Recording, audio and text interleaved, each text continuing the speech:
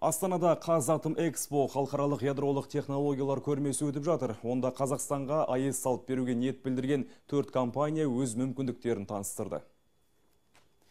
Энергетика министрі Алмасадам Сәтқалиевтің айтуынша әр кәсіпорынның өз артықшылығы бар. Мәселен, Оңтүстік Корея станция құрылысына қажетті жабдықтардың 70 пайызын отандық өніммен қамтиды.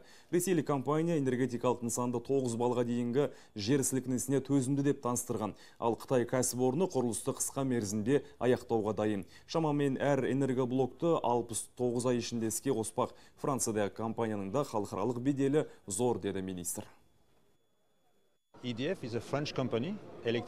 Францияда энергияның 75 пайызы ядролық энергетикадан алынады. Біздің басты мақсатымыз ядролық энергетика саласындағы қауіпсіздікті қамтамасыз ету. Ядролық энергетика қалдық шығармайды, сондықтан Еуропалық одақ оны жасыл энергетика көзі ретінде таныды. Біз жергілікті қазақ мамандармен жұмыс істеп, қолдау көрсетуге дайынбыз.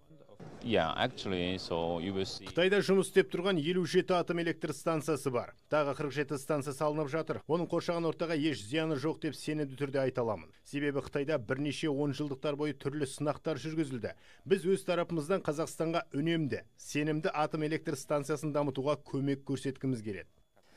Көрмеде әлемдік сарапшылар мен ғалымдардың мемлекеттік орган қызметкерлері мен бизнес өкілдерінің бірлесіп Қазақстанның энергетиканы дамытудағы перспективаларын талқылады. Сондай-ақ көрме барысында қажетті мамандар даярлайтын жоғары оқу орындарының әлеуеті таныстырылды.